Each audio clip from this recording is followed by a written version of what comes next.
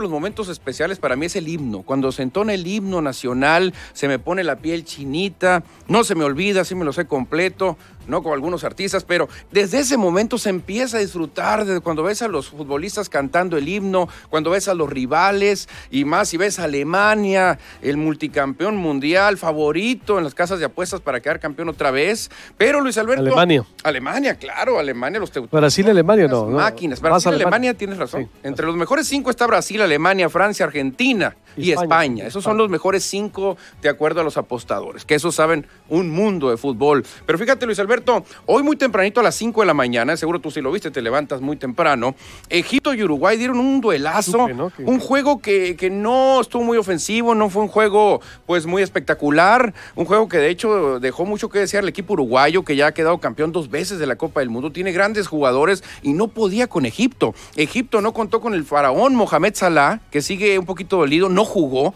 y Uruguay decíamos todos, no, pues le va a pasar por encima a Egipto, y no, hasta el minuto Mohamed se 89. Regresa con Egipto a jugar. Sí, claro, está con Egipto ahorita en el Mundial, pero no se ha recuperado completamente, no lo, no lo alinearon hoy, no entró a Porque jugar. por ser del país, por ser egipcio, o sea... o- No, no, porque trae una lesión, trae una No, lesión. no, no, me refiero. Porque él estaba el de la Roma, ¿no? Es el de la Ah, bueno, pero él juega, en su equipo es la Roma, en, en nivel de clubes, pero su, su selección, su país es Egipto. Ah, por eso, es él de- regresa. Ah, sí, él. Mm. él puede jugar eh, en, en- en su equipo y en su selección, pero en esta ocasión no, no jugó.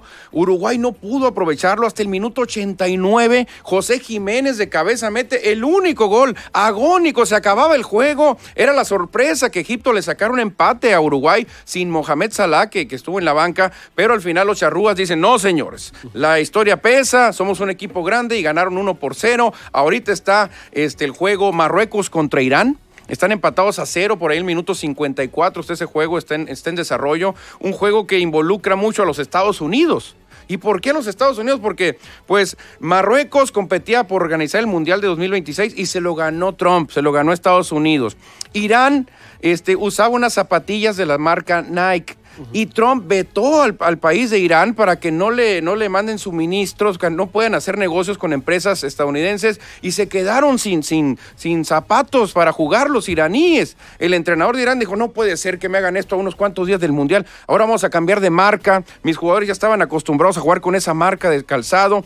Total que Trump ahí lo traen en este juego entre Marruecos e Irán, lo traen ahí en, en boca de todos. Y el platillazo, Luis Alberto, ahorita estás hablando de partidos y partidos, pues yo te traigo un mejor partido. Portugal contra España a las 11, un juegazo, un duelazo en la cumbre, dos equipos contendientes. Portugal con uno de los mejores jugadores del mundo, Cristiano Ronaldo, contra España, que es favoritísimo para llevarse la copa. 11 de la mañana, saliendo de aquí de Proyecto Puente, nos vamos a buscar un lugar y a disfrutar el Mundial. Pero también, fíjate, hay que hablar de lo que eh, pasará mañana y pasado, el famoso fin de semana, porque mañana habrá cuatro partidos, tendremos maratón de fútbol a las 3 de la mañana, Francia ay, ay. contra Australia, a las 6 Argentina, Islandia, Argentina jala mucho, a las 9 Perú, que regresa a un mundial desde España 82, Perú no, no, no conocía un mundial, se enfrenta a Dinamarca un duelazo, y a las 12 Croacia con ese gran medio campo que tiene contra Nigeria. Cuatro partidos mañana sábado y el domingo chútate tres más. Desde las 5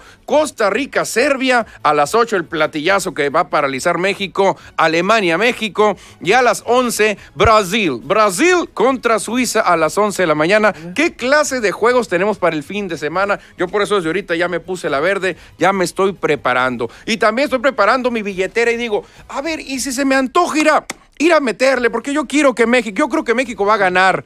Pues si le meto 100 pesos, me gano 700. 700 me gano. Si le meto 1000, pues me gano 7 mil. Así que voy a ver si sí? consulto ahí a mi bola de cristal y si México gana, pues me hago millonario, Luis Alberto. Así que te podría invitar a la comida el próximo lunes si México gana y si le meto una buena cantidad. Pero ¿qué pasa si le apuestas a Alemania? Pues ahí la cosa es al revés. Como Alemania es el gran favorito, le apuestas 200, apenas ganas 100. Si le apuestas al empate, apuestas 100 y ganas 320. O sea que al empate tampoco está tan descabellado. Yo creo que pudiese haber un empate en este juego. México está abajo en las apuestas 7 a 1. Así que si alguien dice yo creo en México, creo que va a ganar, pues ahí está la inversión. Entre la inversión y se hace millonario. También Órale, hablando pues, de ¿cuánto vas- millones, ¿cuánto vas, a, ¿Cuánto vas a apostar?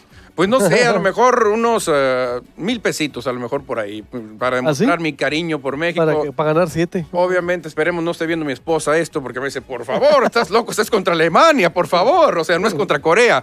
Y bueno, hablando de millones, también Contra fíjate, Alemania, se da la cifra de que la marca que fabrica las camisetas de México dice que eh, eh, fabricó entre 1.5 y 2 millones de camisetas para la venta, fíjate. Y que piensan que si gana México, Alemania el domingo, pueden imprimir millones y millones más de camisetas. Una fiebre de camisetas verdes. Fíjate, México solo es superado por tres países en impresión de camisetas. Alemania, España y Argentina. Pero si nos vamos a la piratería, yo creo que no le gana a nadie. ¿eh? Deben de ser millones y millones de camisetas verdes las que habrá en México. Pero me llama la atención que México nunca ha sido campeón del mundo y está en el cuarto lugar de más eh, fabricación de camisetas. Así. Sí, fíjate, es lo, es lo que me llama la atención. Imagínate si hubiésemos ya sido campeones del mundo, Lo de ¿no? siempre, no, me cae- lo de siempre, no fanáticos, pero bueno. Fanatiquísimo. Y mañana vas a ver el, el domingo. Jugaron como nunca, pero perdieron como siempre. Ay, Ah, ojalá, ojalá no, ojalá- porque me- lo va a resentir mi billetera, hombre. Y fíjate, también hubo un ejercicio muy curioso, este, un ejercicio con inteligencia artificial.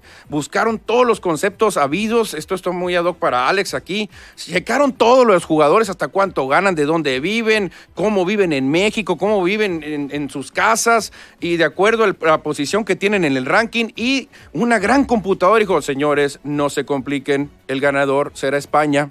España es el ganador de acuerdo a la inteligencia artificial, sumando todo, todo, todo lo que involucra a los jugadores españoles, su país, cómo viven, si viven felices, cuánto ganan, todo. Sumaron todos los detalles, hicieron como 100 mil ejercicios para llegar a este. España sería el campeón, seguido de Alemania, que tiene ahí más o menos las mismas probabilidades, y más abajito Brasil, Francia y Bélgica, que es el que se cuela. Bélgica, muy poca gente habla de, habla de los belgas, pero ahí se cuelan al quinto puesto el equipo de Bélgica. ¿Cómo la ves? Que, que ahora con, con la tecnología, fíjate, sacaron al que sería el campeón y es España. Por muchos detalles, sacaron, hicieron 100 mil ejercicios hasta llegar a este. Pues quién sabe. digo. España el Eh, campeón. no. Así que yo creo que mejor no le apuesto a México. No, vale, no. Más que, vale más que me no, que, que O, vea la ap- o inteligencia. apuéstale, apuéstale 100 nomás. Sí, exactamente. Y ya para cerrar, Luis Alberto, los Diamondbacks de Arizona nos invitan a la serie de Día del Padre el próximo domingo, donde van a regalar 15 mil camisolas hawaianas a los primeros 15 mil padres que entren al Chase Field. Ayer ganaron 6 por 3 a los Mets de Nueva York.